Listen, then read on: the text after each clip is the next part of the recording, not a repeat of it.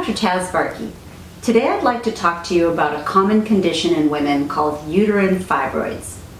Uterine fibroids are just benign overgrowths of the smooth muscle of the uterus.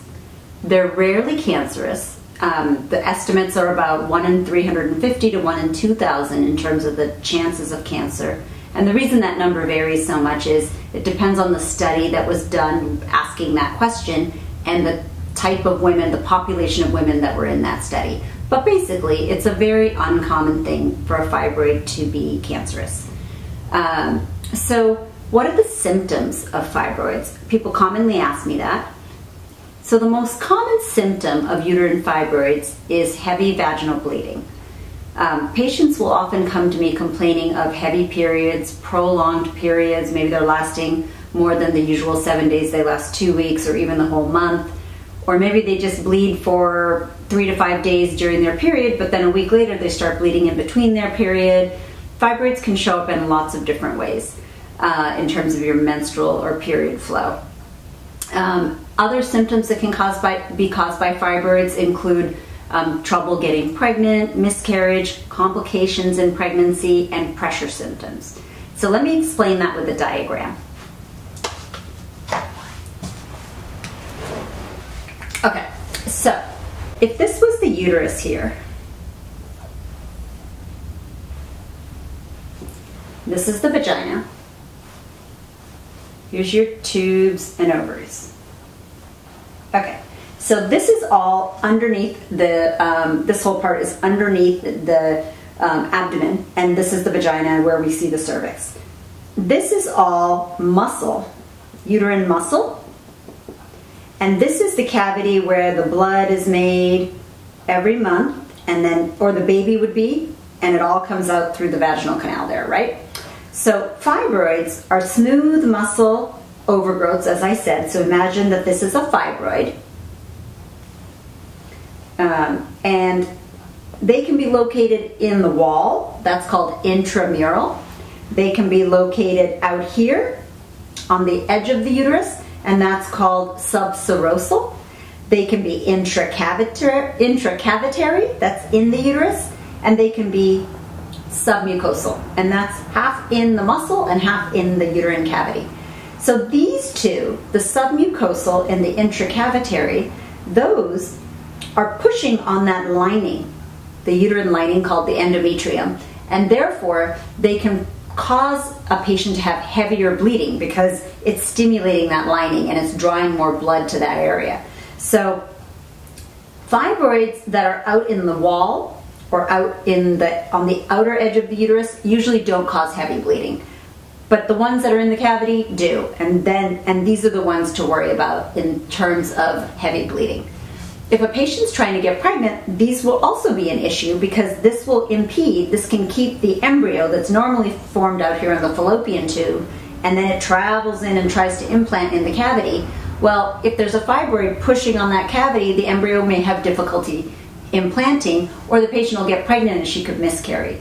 So that's another reason we'd have to deal with these type of fibroids. Um, lastly, if patients have really big fibroids, like this, regardless of where they're located, they can make the uterus so much bigger. So patient will have patients can have sometimes pain, um, but maybe just pressure symptoms, pelvic pressure um, that pushes on the bladder, which is right here and in the front of the uterus. So if you've got a big fibroid pushing out of the front of the uterus onto the bladder in front of it, that can cause urinary frequency. The patient has to go pee all the time.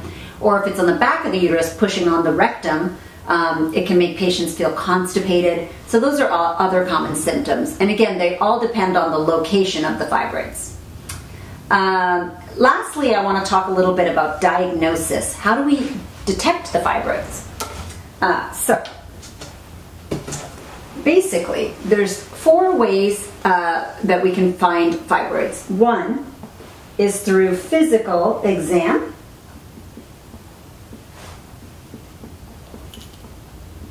So that means you go into the gynecologist and she uh, or he um, will do a pelvic exam. They put two fingers into the vagina and one hand on the abdomen, and that's where they're feeling the uterus and the ovaries. Um, and that's sometimes how I pick them up. A patient has no heavy bleeding or no symptoms, but I'll feel the fibroids that way. The second way is through ultrasound. And this is a procedure using sound waves, not radiation. Um, and often the gynecologist will use a, um, a wand. It's a it's like a probe and it actually goes into the vagina. It looks very big, but it's actually only the very end of it that goes in and the sound waves come out of the tip of it and that gives us the best picture of the uterus and ovaries. So that's one another way we can detect them. The third way is through a procedure called hysteroscopy. And hysteroscopy is a, a, procedure that's often done in the office. Some doctors don't have the equipment in their office, so they may have to take you to the operating room or a, or a procedure center. Um, but they put the camera through the cervix into the uterus and they look at the uterine cavity and um, they can see fibroids that are pushing into the cavity, which, as I explained a minute ago, are the ones that are the most important.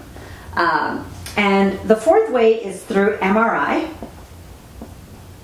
And MRI stands for magnetic resonance imaging. So it's important to understand there's no radiation with this method either, it's just magnetic waves. Um, and through this process, we can get an image of the uterus and the fibroids. But most importantly, we get a very specific image of how many there are and where they're located.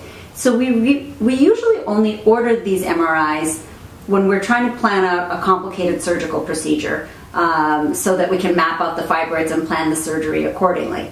Um, we, we hesitate in ordering it casually because it can be very expensive, cost several thousand dollars, and even if a patient just has a 10% copay, that can still be several hundred dollars for a patient.